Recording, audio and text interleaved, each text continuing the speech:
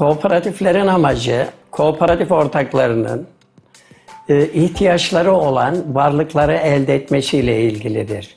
Özellikle mesleki ve geçimlerine ilişkin ihtiyaç duydukları konuları temini için kooperatifin amacını belirlerler. Bu bir konut edinme olabileceği gibi bir iş yeri edinme de olabilir. Kooperatifin kuruluş amacı, faaliyet konusu bu çerçevede belirlenir. Kooperatifin kişilerin hangi konuya ihtiyaçları varsa o amaçla kurduklarını görüyoruz. Kooperatifler kanunu da zaten kooperatifin türünü ve amacını belirlerken faaliyet konusunun amacıyla sınırlı olmasını e, şart koşuyor.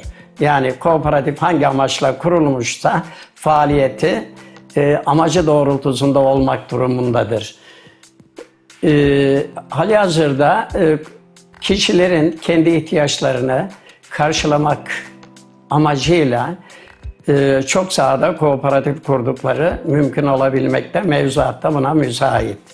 E, işte e, kooperatiflerin türleri konusuna tek tek baktığımızda konut kooperatifleri, iş yeri kooperatifleri, temin tevzi kooperatifleri, motorlu taşıyıcılar kooperatifleri gibi kooperatifin e, ortakları hangi konuda ihtiyaç duyuyorlarsa ve tek başına bu işi yapamıyorlarsa o amaçla bir araya gelerek kooperatif kurarlar ve kooperatifin amacı da kurdukları kooperatifin türüne göre belirlenmiş olur.